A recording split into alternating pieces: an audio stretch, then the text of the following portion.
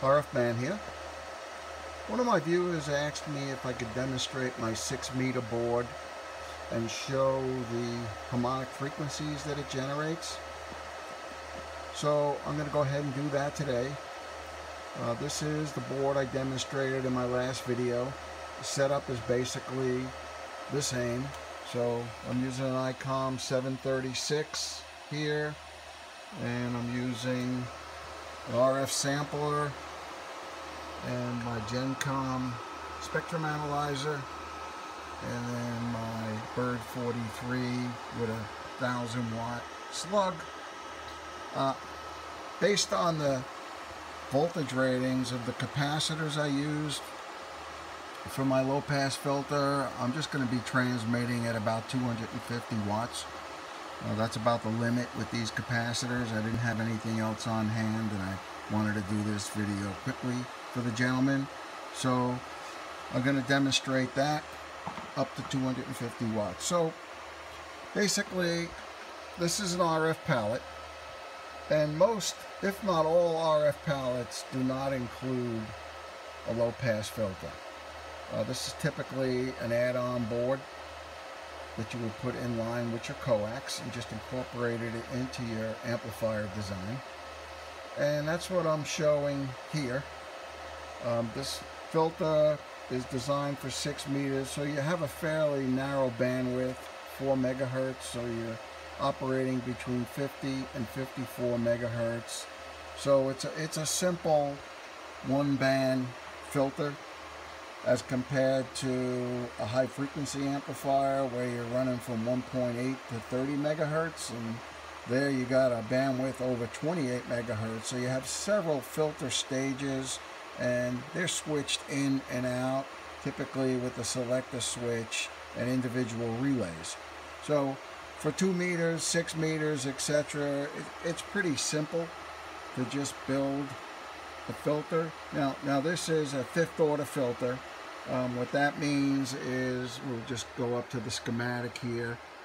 Um, fifth order basically is where you've got five components. You see I got three series inductors and two shunt capacitors. Okay, and then there's different family filters, Buttersworth, Chebyshev, etc.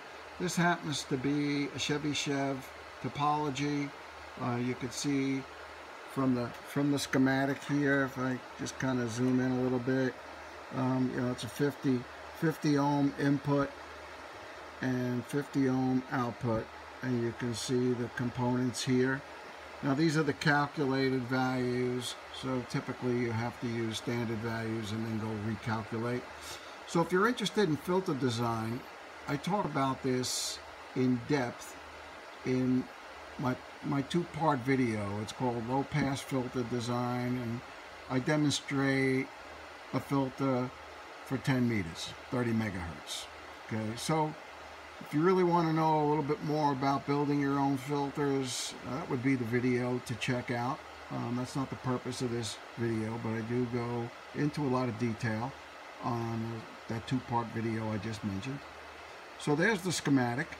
Okay, it's a fifth order you can go uh, third order, fifth order, seventh order. Uh, fifth order was enough to give me a, a good amount of attenuation, which would go to a seventh order. Okay, you're going to add one more series inductor, one more shunt capacitor, but this provides a lot of attenuation for the second, third, fourth, fifth harmonic, etc.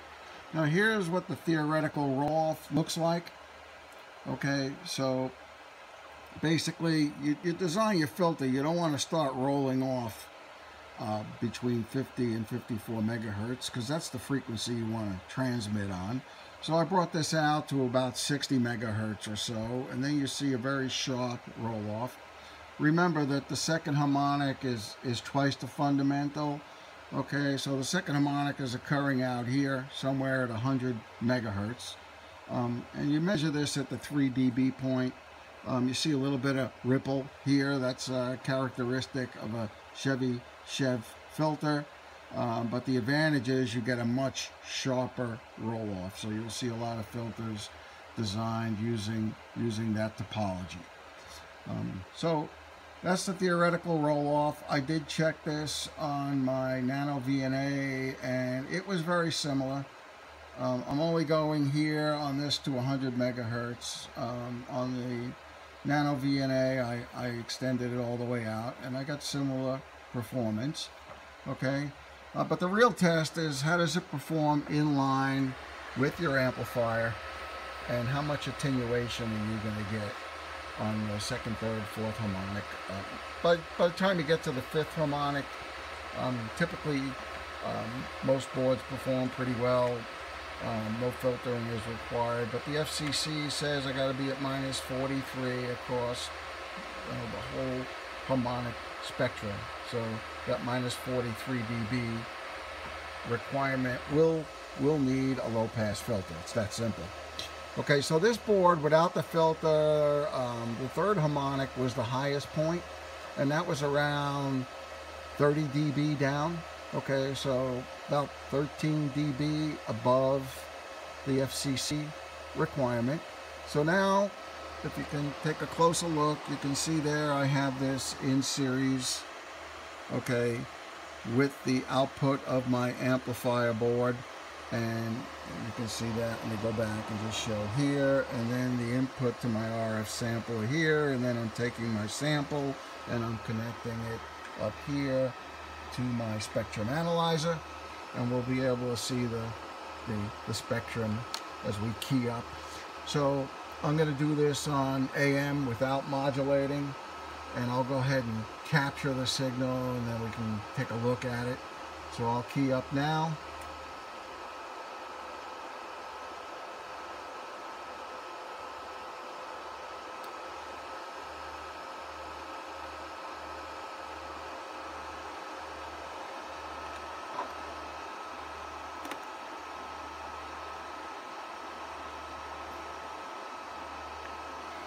Okay.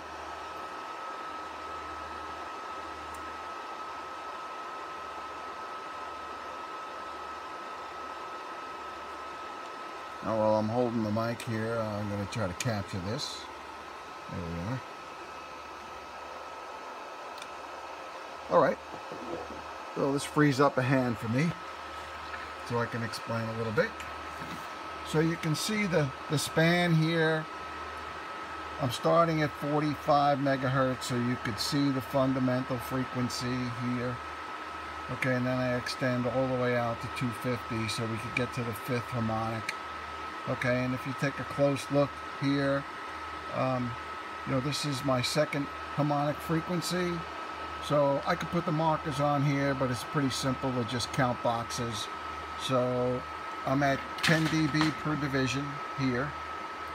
And if we count down here for the for the second harmonic 10 20 30 40 call it 50 dB okay?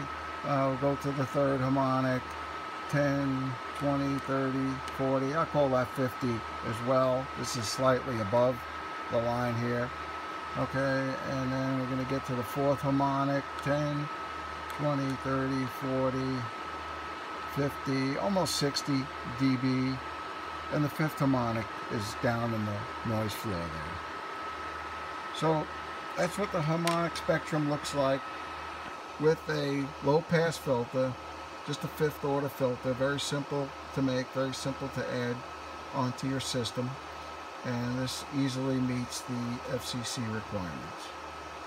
So just wanted to uh, address the question that I got on YouTube. If you have any additional questions, you want to contact me, uh, feel free to do so. RF Man. Thanks.